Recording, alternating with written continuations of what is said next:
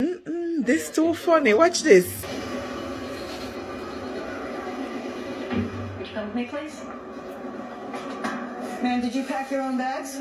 Yeah. So you know what's in here? Okay.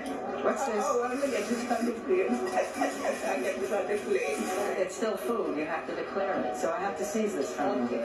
I asked you what food you have. Hello. I asked you what food you have, ma'am. Okay, and I said, what is it, carry on? I never know the doctor carry. Ma'am, is it food?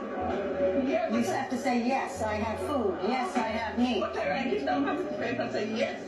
And I asked you what kind of food. What did you tell me? You didn't tell me until I opened this bag. And then when you're Ma'am, you cannot argue with me, all right?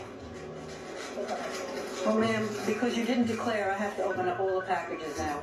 And I need you to put this bag up here, okay?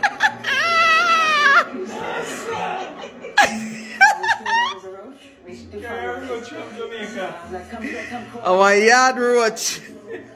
The reason why we take all the contraband is because they make the harbingers of bugs and pests and all kinds of fruit diseases or viruses in animals. You want another roach, folks? I don't want to touch it, but and we don't want that in the economy here. We have to explain that to people, but like beef coming in from England might have mad cow disease. Ma'am, you're getting a warning this time. Yeah, thank you. Thank you. But that, you're welcome. But I want you, what was talking I did to you, did you learn from that? Yeah. Okay, so you're not going to do that again? Okay. That's all right. We got a port runner. That's pretty nasty.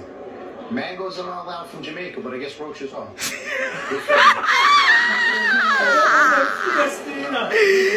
Right? PTR, down the road. Unless we find someone with paperwork.